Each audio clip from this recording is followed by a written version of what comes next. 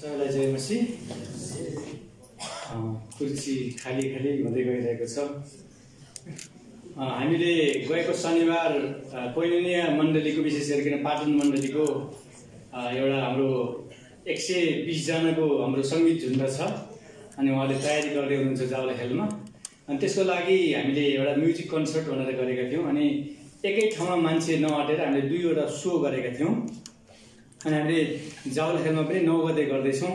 त्यहाँ एउटा विशाल कार्यक्रम हुँदैछ। त्यो एउटा चर्चले गरेको कार्यक्रममा त्यति धेरै मान्छे अटाइ नअटाइ भइरहेको छ यो संयुक्त भन्ने जुन शब्द हामीले राखिरहेको छौँ अनि यो संयुक्त भन्ने शब्दले चाहिँ हामीलाई कुर्सी खाली खाली भएको देख्न यो भइरहेको चाहिँ के भइरहेको मैले बुझ्न सकिरहेको छैन। अनि आउँदो दिनहरूमा हाम्रो दिलराम पौडेलज्यूले भने जस्तै है के के कारणले अब यो लोगो पनि हटिसक्यो? अब यो संयुक्त पनि पर्ने हो कि? कसो गरी मान्छे एक हुन्छ थाहा छैन। त्यस कारणले हामी सबै मिलेर अनि यसलाई भव्य रूपमा अझै मनाउँदै जाउँ र परमेश्वरको महिमा गरौँ। आमेन। एकातिर हामीले हेऱ्यौँ भने एकदमै खुसीको माहौल छ। तपाईँ चर्च चर्चमा जानुहोस्। त्यहाँनिर एकदमै है अब मण्डली चर्च चाहिँ क्यारलमय बनेको छ समाज क्यारलमय बनेको छ।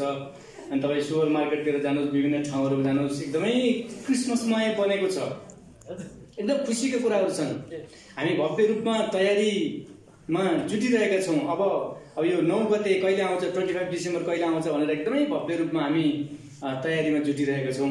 तर हामीलाई दुःख लाग्दो कुरा पनि छ। त्यो के हो भन्दाखेरि चाहिँ अनि हामीले हामीले क्रिसमसमा छुट्टी पाएनौँ। अनि सरकारले हामीलाई मान्यता दिएन। अनि हामी चाहिँ यो देशको दोस्रो नागरिक सरह गनियौँ। अनि धरपकड सतावट खेदो निन्दाका कामहरू दिनदिनै भइरहेका छन्। अनि यसले हामीलाई एकदमै निराश बनाइरहेको छ अनि हामी एकदमै हतोत्साही भइरहेका छौँ। हामीलाई थाहा छ कुनै समय अब लामो समय एक एक महिना छुट्टी दिन्छ हाम्रो कलेजका नानीहरूलाई हाम्रो स्कुलका नानीहरूलाई अनि उनीहरूलाई कहाँ राख्ने के गर्ने भन्ने हामीलाई गाह्रो हुन्छ। तर वर्षमा एकपटक मात्रै हाम्रो उत्सव आउँछ अनि क्रिसमस अनि यो दिनमा छुट्टी नदिँदाखेरि हामीलाई कति नमिठो लागिरहेको छ। तर मैले सम्झँदै थिएँ हामीलाई छुट्टी छैन सरकारले मान्यता दिएन यसो भएन त्यसो भएन तर हामीले सम्झनु पर्ने कुरा के छ त भन्दाखेरि सारा संसारका मुक्तिदाता ख्रिस्ट यसो जन्मने बेलामा पनि ठाउँ थिएन कसैले उहाँलाई मान्यता दिएको थिएन सायद कपडा पनि थिएन होला। आमाले आफ्नो कुनै ओढ्ने कपडा च्यातेर त्यहाँ बेरी कपडाले बेरेर उहाँलाई रुममा राखेकी हुन् कि? हामीलाई थाहा छैन। तर हामीले सम्झनु पर्ने कुरा के हो भने हामीले छुट्टी पाए पनि नपाए पनि हाम्रो नानीहरूले छुट्टी पाए पनि नपाए पनि हामीले मान्यता पाए पनि नपाए पनि तर हामी हाम्रो साथमा हाम्रो परमप्रभु परमेश्वर हुनुहुन्छ।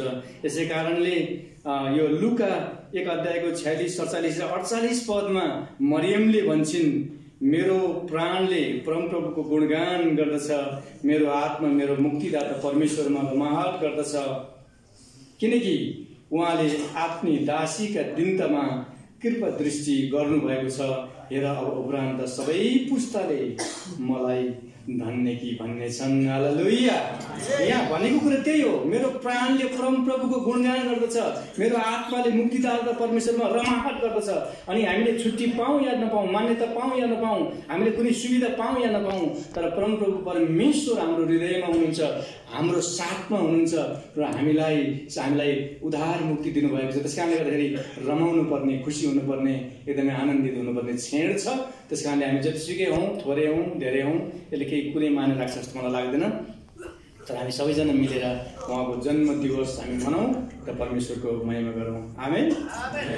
र म अन्तमा यहाँ सबैलाई यो क्रिसमस दुई हजार उन्नाइस र न नयाँ वर्ष दुई हजार बिसको हार्दिक शुभकामना व्यक्त गर्न चाहन्छु। हाम्रो आदरणीय अध्यक्षज्यू यहाँ हुनुहुन्न। उहाँले मेरो तर्फबाट पनि शुभकामना भनिदिनु भनेर नेपाल राष्ट्रिय मण्डली सङ्गतिको तर्फबाट उहाँले शुभकामना पठाउनु भएको छ। र म पनि हाम्रो नेपाल राष्ट्रिय मण्डली सङ्गतिको तर्फबाट मेरो व्यक्तिगत तर्फबाट मेरो मण्डलीको तर्फबाट यहाँहरूलाई धेरै धेरै शुभकामना दिन चाहन्छु। र यहाँको यो आउँदो वर्ष एकदमै आशिषमय वर्ष हुन सकोस् र अन्तमा केही पङ्क्ति भनेर म यहाँबाट छुट्न चाहन्छु। आयो आयो बडा दिन सबै रमाउने। आयो आयो बडा दिन सबै रमाउने। ख्रिसको जन्म दिनैमा हर्ष मनाउने। आयो आयो बडा दिन सबै रमाउने ख्रिसको जन्म दिनैमा हर्ष मनाउने यही बेला मिलेर क्यारल गाउने।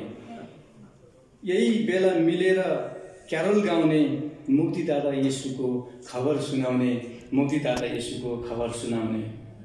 राखेर मनमा हाम्रो प्रेमको भावना राखेर मनमा हाम्रो प्रेमको भावना हृदयमा यसु जन्मुन गरौँ प्रार्थना।